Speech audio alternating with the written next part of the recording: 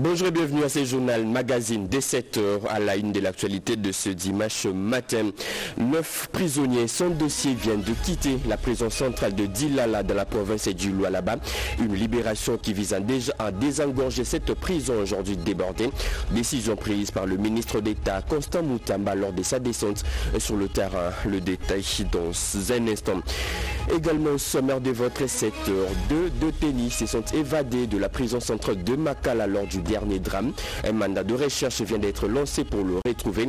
Il s'agit de Moïse Ifumbo alias Kagame, condamné à mort en juillet 2024 pour association de malfaiteurs et du magistrat Blaise Kabamba, condamné à 36 mois de prison pour torture corporelle, une affaire devenue virale sur les réseaux sociaux en début d'année. On y revient dans ce journal. Et enfin, c'est un véritable coup d'éclat. Plusieurs hôpitaux et cliniques du secteur minier dans le Grand Katang ont désormais de nouveaux visages. Ils sont totalement rénovés, équipés de machines de dernière génération par la GKMIN. La salle d'urgence, la maternité, la pédiatrie, des couveuses, bref, tous les services sont totalement réhabilités. C'est l'unique dossier à suivre dans la seconde partie magazine. Une seconde partie que nous entamons dans quelques minutes juste après la page actualité.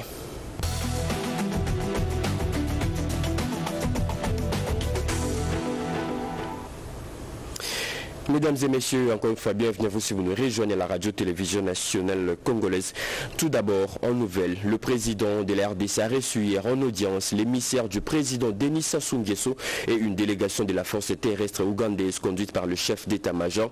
Les relations bilatérales entre Kinshasa et Brazzaville et la situation sécuritaire dans l'est de la RDC étaient au menu de ces échanges. Plus de précisions dans nos prochaines éditions. Et en image, le président de l'Assemblée nationale poursuit son séjour de travail en France. Sur place, Vital Caméré a visité le bâtiment de l'ambassade de l'RDC à Paris. Bâtiment totalement réhabilité grâce à l'appui financier du président de l'RDC, Félix-Antoine Tshisekedi Chilombo. Plus de détails avec notre envoyé spécial, Anim Balaka.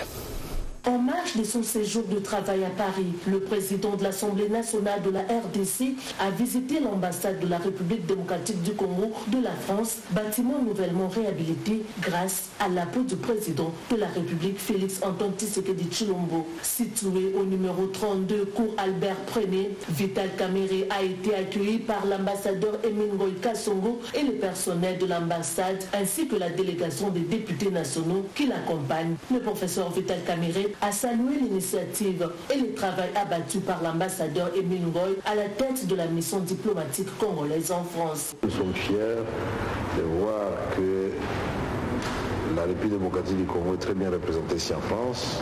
Nous estimons que depuis que nous avons fait de la diplomatie parlementaire elle-même une arme pour le rayonnement de notre pays et pour faire entendre la voix du Congo, en ces moments troubles où nous avons des guerres à l'Est, nous avons des situations de sécurité d'Aquamouto, nous devons avoir des partenaires qui comprennent la problématique, non seulement de la région des Grands Lacs, mais pourquoi la République démocratique du Congo ne prend pas sa vitesse de croisière en termes de développement. Parce que nous devons d'abord restaurer la paix sur l'ensemble du territoire national et recouvrir l'intégrité de notre territoire, qui sont des valeurs cardinales et consignées dans la charte de la chose. Après cet échange, le professeur Emile Ngoy Kassongo a invité son hôte de marque à faire la visite des différents locaux de ces bâtiments qui fait aujourd'hui la fierté de la mission diplomatique congolaise en France. Plusieurs locaux revêtent désormais de leurs nouvelles robes. Ému par cette visite, le personnel de l'ambassade s'est joint à l'ambassadeur Emile Ngoy Kassongo pour une photo des familles avec le président Vital Kamere et la délégation qui l'accompagne avant de les raccompagner. Premier rendez-vous entre le nouveau membre du bureau du Sénat et le comité de direction élargie des différents services. Occasion pour le président de cette chambre haute du Parlement de s'enquérir des conditions de travail des agents et cadres. Jean-Michel Samaloukondi a aussi remis quelques bus pour la mobilité du personnel. Janine Kalinga, bienvenue Loussala et Julien Piana pour plus de précisions. C'est une importante réunion de prise de contact avec le comité des directions élargi et plusieurs services du Sénat qui a eu lieu ce vendredi 11 octobre 2024 au bureau du président de cette chambre, Jean-Michel Samalukonde Kenge. Tous les membres du bureau définitif et le membre des services administratifs du Sénat ont pris part à cette première rencontre qui vise à améliorer le travail et permettre une franche collaboration avec le nouveau bureau de la quatrième législature de la République, comme l'indique le secrétaire général du Sénat.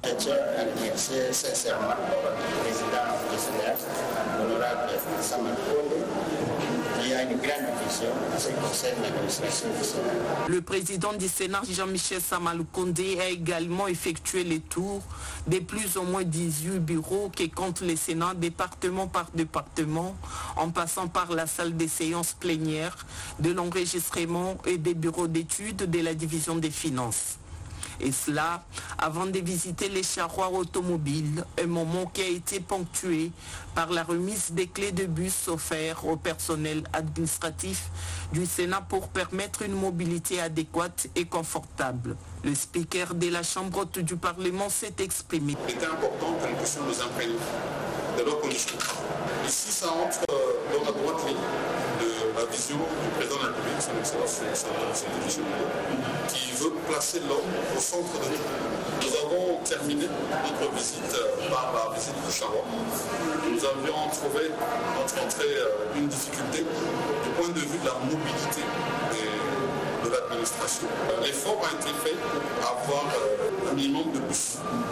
Bus qui pouvaient être remis à l'administration. On les a visités avec le secrétaire général à côté de nous tous les administratifs qui pouvaient voir euh, ces nouveaux charrois qui été acquis.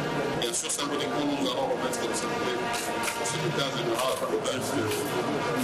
Euh, voilà, désormais c'est un petit pas qui est fait pour en tout cas faciliter. La vision du président du Sénat demeure celle d'améliorer les conditions de travail afin de valoriser cette grande institution de la République. Julien Paloukou, Patrick Mouyaya et Marie-Thérèse Sumbu participent au Forum Africa Alive 2024 à Boston aux États-Unis d'Amérique depuis le vendredi dernier. Ces trois membres du gouvernement ont échangé avec les jeunes femmes entrepreneurs congolaises œuvrant dans plusieurs domaines à l'université d'Harvard. Il les a rassurés d'un accompagnement du gouvernement congolais. Le détail avec Joseph Oscar Balkaïch. Nous sommes dans l'enceinte de Harvard University, une des prestigieuses universités des États-Unis d'Amérique, fondée en 1636. Trois membres du gouvernement de la RDC, Julien Paloukou Kaongia du commerce extérieur, Patrick Mouyaya Katemboué des médias et Marie-Thérèse Sombo de l'enseignement supérieur et universitaire sont allés booster dix jeunes femmes entrepreneurs congolaises œuvrant dans les secteurs agro-business, le recyclage des déchets, la santé et la culture. Ces femmes entrepreneurs, sélectionnées à l'issue d'un concours organisé par les États-Unis d'Amérique en collaboration avec le gouvernement congolais, ont montré de quoi elles sont capables. J'ai étudié le- la sociologie du développement au Cameroun et puis je suis revenue pour investir au pays, enfin d'aider à relever euh, notre société à travers le fitness, l'alimentation saine et maintenant on veut créer un petit département de santé émotionnelle et de santé mentale. Il est question pour ce membre du gouvernement invité au Forum Africa Live 2024 de rassurer ses entrepreneurs de l'accompagnement de la RDC après deux années de formation. Vous êtes aux États-Unis où il y a un fort sentiment d'exaltation de l'appartenance à la patrie, du respect au drapeau. Je pense que ce serait bien parce que nous travaillons beaucoup avec des jeunes de demain. Ce serait aussi bien dans le cadre de vos compétences de pouvoir nous joindre. Le ministre du Commerce extérieur, Julien Paloukou, s'est dit flatté de l'esprit managérial qui anime ces femmes. Je vous encourage pour tous, tous ceux qui sont dans, dans l'agriculture, dans tout. euh, euh, nous, allons, nous avons adopté au gouvernement la stratégie nationale AGOA qui définit les différentes filières, 21 filières du secteur hors minier qui sont concernés par ces exportations vers les États-Unis. Pour la ministre de l'Enseignement supérieur et universitaire, Thérèse Sombo, ces entrepreneurs constituent un modèle pour le pays. Vous rendez service à la communauté, mais aussi vous pouvez servir d'exemple, de modèle à ceux qui sont en train d'étudier. Pour, pour, pour, voir que, bon, quand on termine, c'est seulement pas aller chercher, écrire euh, je l'honneur, mais de soi-même, on peut créer. Juste après, la délégation congolaise a été conviée à un déjeuner d'affaires avec la directrice de l'agence américaine pour le commerce et le développement, question d'échanger les vues. Je le dis au sommaire, neuf détenus sans dossier viennent de quitter la prison centrale d'Edilala dans la province du Lualaba. Une libération qui vise à désengorger cette prison aujourd'hui débordée. Décision prise par le ministre d'État Constant Moutamba lors de sa descente sur le terrain. Bien avant, le ministre de la Justice a échangé avec la gouverneure du Lualaba, Fufi Masuka. Le détail avec Cédric Inena. Il suscite curiosité, enthousiasme et en fin de compte de l'espoir pour une justice qui se régénère. Les ministres d'État, ministre de la Justice Constant Moutamba est arrivé à Kolwezi et aussitôt reçu par la gouverneure de province, Fifi Masuka Saïd. Madame la Première ministre, Monsieur le gouvernement, dépêché dans l'espace d'Ankatonga pour pouvoir faire l'inspection du secteur judiciaire général de l'organisation des États généraux de la justice congolaise dans la première phase en consultation L'objet de sa visite ainsi connu, la vulgarisation des réformes, la bancarisation des frais de justice, direction la prison centrale des Dilala. Ici, dans le cadre du processus de désengorgement en milieu carcéral, neuf détenus sans dossier ont quitté leur cellule avant de visiter les installations de ces lieux de détention.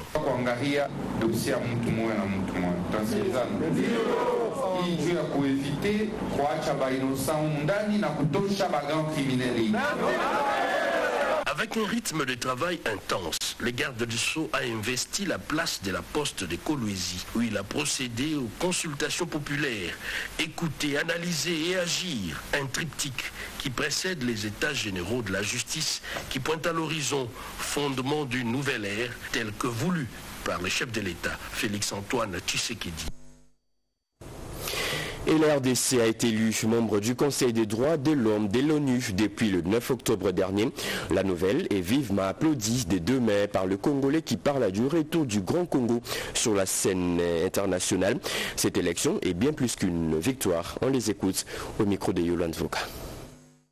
La RDC fait réellement son comeback à l'échelle internationale. Élu avec 172 voix sur 190, le pays de Lumumba et de Tienti obtient le poste de membre permanent du Conseil des droits de l'homme des Nations Unies. L'écho a retenti depuis New York et Kinwani Kamita Tumasamba salue cette victoire diplomatique. C'est vraiment une occasion pour le peuple congolais, pour le gouvernement congolais de défendre les droits de nos frères et sœurs qui subissent des tortures, qui subissent des viols, des agressions, des déplacements ma massifs à l'est de notre pays.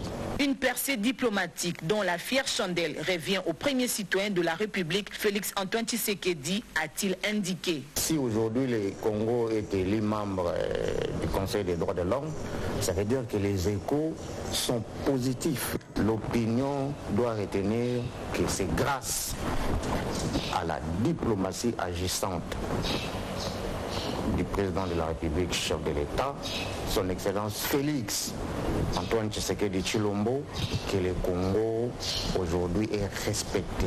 Désormais, dans le cercle restreint du Conseil des droits de l'homme, la RDC compte améliorer sa situation en la matière en s'alignant résolument dans le renforcement, la promotion et la protection des droits humains.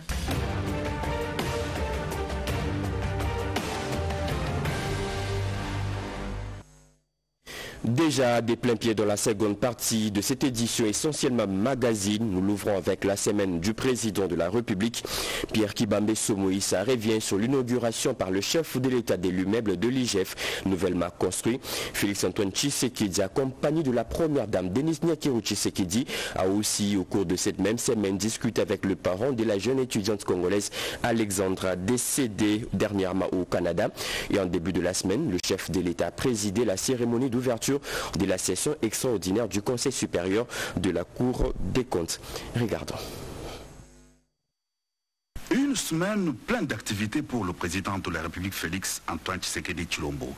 Déjà lundi 7 octobre, le chef de l'État a présidé la cérémonie d'ouverture de la session extraordinaire du Conseil supérieur de la Cour des comptes. Cette institution supérieure qui gère la carrière de magistrat de la Cour des comptes avait inscrit à l'ordre du jour de ses travaux quatre matières essentielles, le recrutement des magistrats de la Cour des comptes, la célébration du départ des magistrats ayant été mis à la retraite, la mise à la retraite des magistrats qui ont atteint l'âge de la retraite et la promotion des magistrats de la Cour des comptes.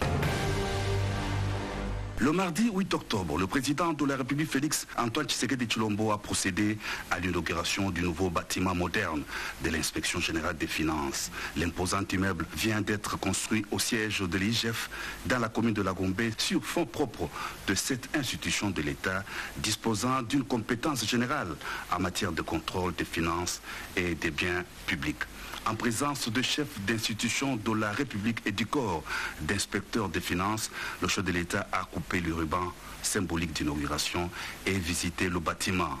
L'immeuble flambant neuf de huit étages est baptisé Étienne Tshisekedi Ouamulumba en mémoire de la lutte intraitable menée par le patriarche des sons vivants contre la corruption et autres antivaleurs.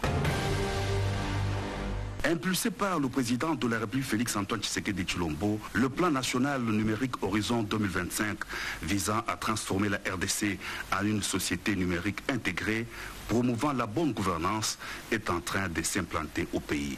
Le chef de l'État a inauguré le jeudi 8 octobre Silicon Village qui se veut le plus grand hub d'entrepreneuriat et d'innovation de la RDC et de l'Afrique centrale. Il s'agit d'une initiative du groupe Texaf qui s'inscrit dans l'engagement du gouvernement congolais de réduire la fracture du numérique et de positionner la technologie comme modèle de croissance durable conformément au plan national numérique. Silicon Village se fixe la mission de devenir une plateforme essentielle pour les startups, les petites et moyennes entreprises et les grandes firmes cherchant à innover en Afrique centrale avec un fort accent sur l'impact social et économique, les infrastructures modernes notamment. Le couple présidentiel a exprimé tout son soutien et le réconfort à la famille d'Alexandra Lumbai, retrouvée morte au Canada. Le chef de l'État et la distinguée première dame Denise Nyakero Tshisekedi ont reçu à la Cité de l'Union africaine les parents de la défunte. Le président de la République Félix Antoine Tshisekedi Chilombo a promis de soutenir la famille durant cette dure épreuve en attendant le dénouement des enquêtes en cours au Canada. Les parents d'Alexandra Lumbai ont été conduits par Madame Chantal Moulop, coordonnatrice du service spécialisé de la présidence en charge de la jeunesse, la lutte contre les violences sexuelles et la traite des personnes. Et puis, en compagnie de la distinguée première dame Denise Nyakero Tshisekedi, le président de la République est allé rendre le dernier hommage à Jean-Pierre Kambila Kankonde, acteur politique, ancien directeur de cabinet adjoint dans le précédent régime. Le couple présidentiel s'est incliné devant la dépouille de l'illustre disparu avant d'apporter les réconforts à la famille éplorée. En présence du premier sportif de la RDC, les Léopards l'ont emporté sur les Taïfa, SAR de la Tanzanie par le score de 1 but à 0 de la tribune présidentielle du stade de martyr de la Pentecôte. Le chef de l'État, Félix Antoine Tshisekedi Chilombo, a apporté son soutien à l'équipe nationale de football de la RDC en assistant au match qu'il opposait aux Taïfa Stars de la Tanzanie dans le cadre de la troisième journée des éliminatoires de la Coupe d'Afrique des Nations Maroc 2025.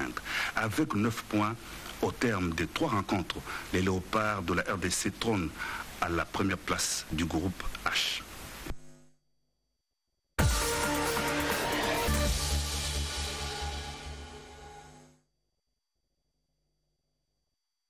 L'ouverture du procès de, l'écrivain franco-camerounais Charles Ounana à Paris a attiré l'attention de notre rédaction cette semaine. Plusieurs autres actualités phares ont eu lieu cette même semaine, comme l'assistance du gouvernement au rescapé du dernier naufrage sur le lac Kivu et aussi les échanges entre la ministre d'État en charge de l'éducation nationale et le syndicaliste des écoles publiques et catholiques sur la suspension de la grève figure également parmi les informations qui ont dominé cette semaine. Si vous avez manqué un fait, notre consoeur Chantal Okoloba fait les tours de ses actualités phares de la semaine en quelques minutes.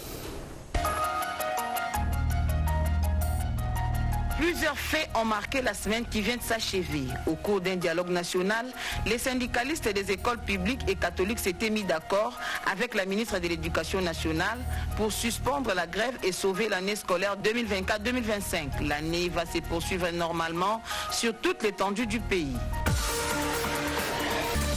Après les naufrages du bateau MV Merdi sur les lacs Kivu, les gouvernements étaient aux rescousses des rescapés et à la recherche des corps. Les vivres et les médicaments ont été acheminés pour leur prise en charge. Le gouvernement a soutenu les familles pour un enterrement digne.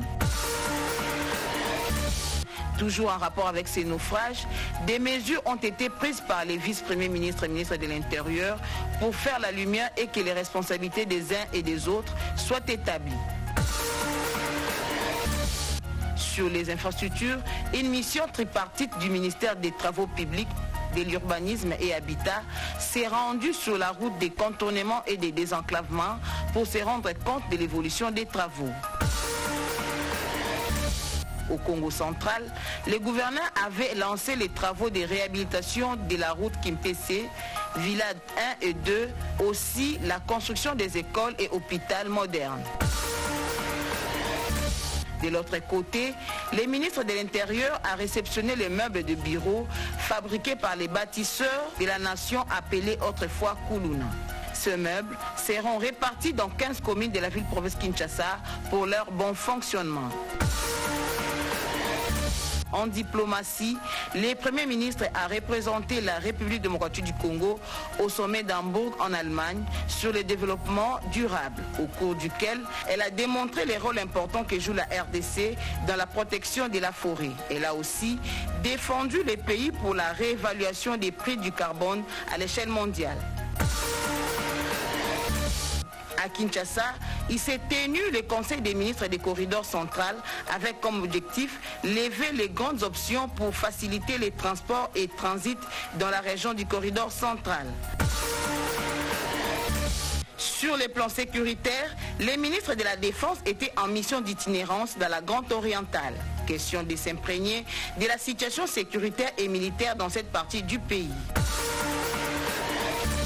En justice, le verdict est tombé pour les magistrats de la Lomami, pris en flagrance et accusés de la corruption et blanchissement des capitaux. Ils ont écopé de 2 à 3 ans de prison ferme, des travaux forcés et de plus de fortes amendes. Le procès Charles Onana s'est ouvert en début de semaine. L'instruction et les plaidoiries ont eu lieu et l'affaire a été prise en délibéré pour un jugement attendu le 9 décembre 2024 à Paris.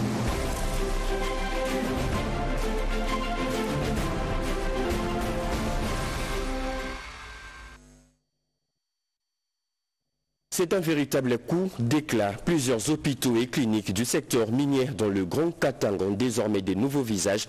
Ils sont totalement rénovés et équipés en machines de dernière génération par la GECAMINE. La salle des urgences, la maternité, la pédiatrie, les couveuses, bref, tous les services sont totalement réhabilités. Une première réalisation selon le médecin de ces infrastructures euh, hospitalières. C'est un dossier de Guy et Henri Alimassi. La santé est un facteur important dans la gestion de ressources humaines. Sans des bras valides, sans des cerveaux solides, il ne peut y avoir la moindre production dans une entreprise et la moindre paix sociale. Ayant compris cette nécessité, le directeur général de la GECAMINE, Placide Kala, s'est investi corps et âme pour que le secteur de la santé redevienne ce qu'il fut dans les années fastes où l'entreprise était le fleuron de l'économie nationale. Grâce à son management, le secteur médical retrouve son éclat d'antan. Depuis euh, l'arrivée de M. Placide Nkala, euh, je pense qu'il avait visité la maternité et il avait trouvé que ce n'était pas bon pour les naissances des bébés de naître dans un environnement qui était tel que c'était la fois passée et il a voulu améliorer les choses. Et voilà maintenant, nous travaillons dans un environnement sain. Et ce n'est pas seulement pour notre plaisir à nous, le personnel soignant, mais également pour nos malades. Donc je vous assure que c'est vraiment pour le plus grand soulagement de, de la population parce que nous sommes un très grand hôpital sur euh, la, la ville de Lubumbashi, plusieurs réhabilitations. Et donc euh, encore une fois merci beaucoup à la délégation générale qui nous accompagne vraiment dans le domaine social. Avec mes 12 ans d'ancienneté, c'est une première réalisation qui puisse se faire à la GECAMIN et plus précisément dans cette clinique ou au, au groupe Sud. Ici, à Panda, cet hôpital centenaire ne disposait même pas d'un groupe électrogène, instrument important dans le fonctionnement de l'hôpital. Aujourd'hui, c'est chose faite. La DG a pu nous octroyer ce groupe, ce générateur qui est là derrière vous, qui est opérationnel maintenant, ça fait déjà, je crois, deux semaines. Ce qui est en train de pallier à tous les problèmes que nous avons avant. Et ce groupe a la capacité d'alimenter tout l'hôpital et il est en mode automatique, ce qui fait qu'on ne perd même pas 30 secondes pour qu'il reprenne euh, et nous renvoie déjà l'énergie électrique. Je peux dire que nous sommes maintenant en sécurité. Même en pleine intervention, nous avons eu des cas en pleine intervention, nous avons une coupure. Et à ce moment-là, c'est la panique générale. Et ces cas, présentement, je peux dire vraiment, nous sommes vraiment sécurisés. On n'aura plus ces, ces désagréments. Le département de la santé GECAMINE retrouve peu à peu ses lettres de noblesse grâce au management actuel. Partout, dans les sites GECAMINE, la communion et l'entente sont parfaites entre l'employeur et l'employé. On tourne la page partie magazine. Retour à l'actualité. La toute première session extraordinaire du Conseil supérieur de la Cour des comptes s'est achevée hier dans la capitale. Ces travaux qui se sont étalés sur cinq jours ont permis aux membres de cette cour d'examiner le dossier des magistrats concernant les promotions et le mise à la retraite. Les recommandations seront remises au chef de l'État.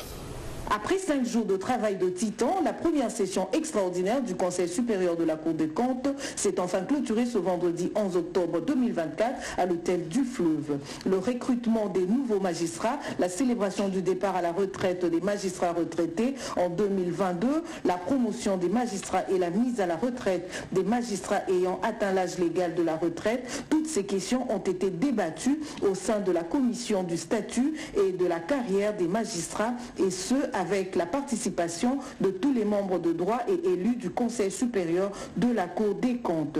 Jimmy Mungangangwaka, premier président et président du Conseil supérieur de la Cour des comptes, s'est confié aux magistrats sur le soutien indéfectible du magistrat suprême, le chef de l'État Félix-Antoine Tshisekedi Chilombo.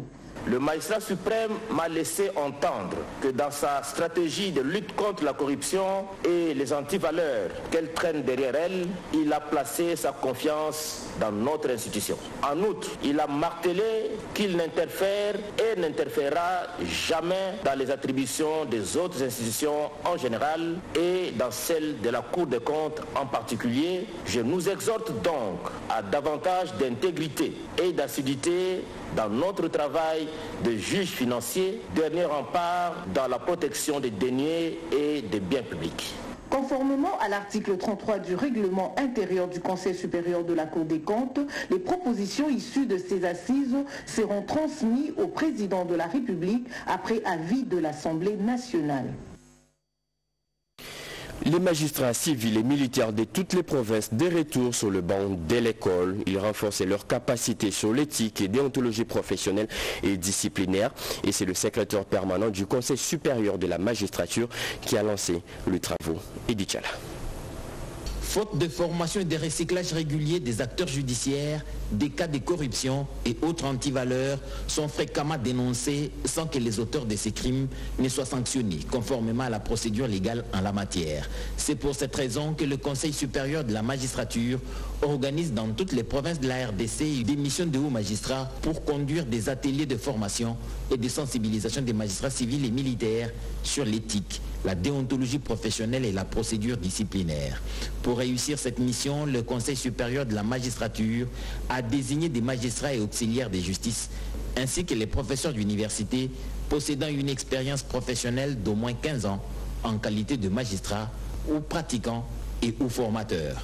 Ainsi, pour mieux définir une meilleure approche méthodologique, un atelier de réflexion et d'échange a été organisé à l'intention de tous ces professionnels. Présidé par le secrétaire permanent, porte-parole du Conseil supérieur de la magistrature, Telesfor Ndouba-Kilima, l'objectif poursuivi par ce dialogue est de contribuer au renforcement des capacités techniques des formateurs des magistrats civils et militaires sur les notions d'éthique et de déontologie professionnelle ainsi que celles de procédure disciplinaire. Des échanges fructueux qui ont permis au secrétariat permanent du Conseil supérieur de la magistrature d'harmoniser l'approche méthodologique et à suivre les formations dans différents sites. Deux détenus se sont évadés de la prison centrale de Makala lors du dernier drame. Un mandat de recherche vient d'être lancé pour le retrouver. Il s'agit de Moïse Ifombo, alias Kagame, condamné à mort en juillet 2024 pour association des malfaiteurs, et du magistrat Blaise Kabamba, condamné lui à 36 mois de prison pour torture corporelle. Ces mandats de recherche viennent d'être lancés par les procureurs généraux près la Cour de cassation, comme nous dit Yvette Makuntima. Deux wanted dont le portrait robot se trouve renseigné dans cette correspondance du procureur général près la Cour des cassations Firmin Vondemambu. Les premiers, un meurtrier, Ifombo Engea Moïse alias Chululu Kagame, condamné à la peine de mort par les tribunaux des grandes instances de Kinkole en juillet 2024, de nouveau condamné le 10 octobre 2024 par la même juridiction pour tentative de meurtre extorsion et évasion des détenus. Et les seconds, un magistrat, Blaise Kabamba, condamné à 36 mois de servitude pénale pour torture corporelle sur une dame. Tous deux recherchés par la justice. Nous n'allons pas nous décourager. Nous allons continuer à traquer tous ces malfrats qui puissent répondre de leurs méfaits partout où ils seront attrapés. Je crois que les procureurs généraux ont sous leur contrôle les parquets euh, inférieurs. Il y a aussi les services qui sont sous leurs ordres.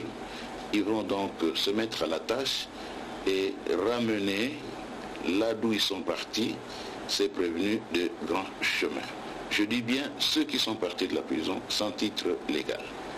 C'était pour moi une occasion pour interpeller même la conscience collective, toute la population quinoise, toute personne qui connaîtrait quelqu'un qui est parti de la prison pour avoir commis des faits suffisamment graves, de le dénoncer pour que nous puissions nous occuper de lui. Tous les mécanismes de droit ont été activés pour traduire ces malfrats devant les juridictions compétentes. La colère est encore vive dans les esprits des Congolais qui continuent de dénoncer la mort de leurs compatriotes au Canada. La jeune étudiante Alexandra à Kinshasa, une marche de colère a été organisée par le femmes de l'ONG Génération Femmes. Point des chutes, ambassade du Canada où, ils ont, où elles ont déposé un mémorandum. Avec des tissus blancs sur la tête, banderole et affiches en main, ces femmes de l'ONG Génération Femmes et de la radio de la femme descendues dans la rue réclament justice pour la jeune étudiante congolaise Alexandra décédée au Canada. Cette marche de colère et de protestation est partie de la place Sosimat pour traverser les centres-villes et chuter devant l'ambassade du Canada. Brandissant la photo de la victime, elles accusent le gouvernement canadien qui a aussi une part de responsabilité dans ces drames et exigent Plus d'enquêtes pour faire la lumière sur cette mort tragique de la jeune Alexandra. En force est de constater que notre sœur n'a pas bénéficié de la protection suffisante qui pouvait l'aider à se maintenir en vie. Il est incompréhensible que notre sœur, notre compatriote, trouve la mort dans des circonstances si éblouissantes et si troublantes dans un pays aussi avancé comme le Canada.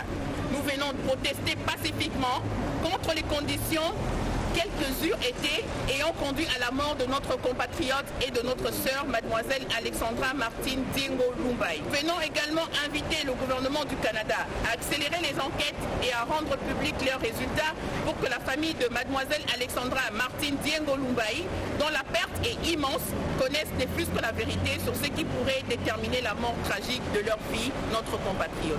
Un décédé trop des Congolaises et Congolais à l'étranger que le membre de ces deux ONG n'arrive plus à surmonter et exige dédommagement conformément aux lois canadiennes.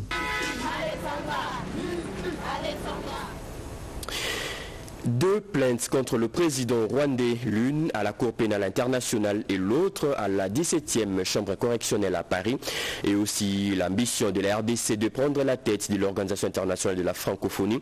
Ces deux sujets ont été largement commentés dans nos kiosques à journaux cette semaine qui s'achève. Jean-Pierre Ndolo Demazou et Geresto Fungé dans cette rubrique rétrospective hebdomadaire de la presse reviennent également sur la fin de la grève des enseignants. Regardons.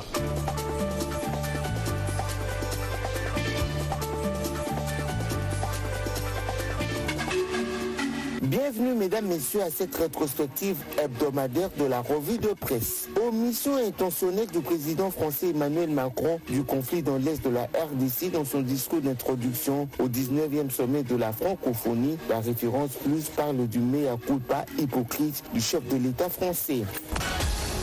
Kinshasa dans la course à la succession de Mouchikouabo au poste du secrétaire général de l'Organisation internationale de la francophonie annonce Ouragon.cd le nom le plus cité est celui de Bestine Kazadi, ministre délégué près le ministre des Affaires étrangères de la RDC. Plainte des Africains vivant en Europe déposée à la Cour pénale internationale contre Paul Kagame rapporte 7 sur 7.cd. Ils accusent le président rwandais des crimes de guerre, crimes contre l'humanité et crimes de génocide à l'est de la RDC. Une autre plainte contre Paul Kagame, c'est celle déposée par les avocats de l'écrivain Charles Onana à la 17e chambre correctionnelle de Paris, titre le potentiel, ceci pour menace de mort contre Charles Onana soutien de Denis Mukwege à Charles Onana. Selon Forum des As, le prix Nobel de la paix 2018 dénonce un procès politisé. C'est une injustice envers ceux qui dénoncent les crimes de guerre et les massacres commis en République démocratique du Congo. Mission de bons offices de l'Union européenne pour la désescalade entre la RDC et le Rwanda dans la crise à l'est de la RDC. Le nouveau représentant spécial de l'Union européenne s'y attelle en croire le quotidien. Les ex-miliciens du Tanganyika invitent les autres à déposer les armes selon mediacongo.net, ceci afin de participer à la reconstruction de la province du Tanganyika. Mediacongo.net revient à la charge et évoque l'incident survenu à Matadi dans le Congo central. Un agent de l'ordre a tiré à balles réelles sur les élèves qui ont organisé une marche pour la reprise des cours. Aucune perte en vie humaine n'a été signalée. Le gouvernement obtient la suspension de la grève des enseignants, note africanewsrdc.com, ce à l'issue des négociations entre le gouvernement et le bon syndical. Le Sud Kivu se mobilise pour la lutte contre le Mpox, note info27.cd. 40 000 personnes sont attendues à la vaccination contre la variole de singe.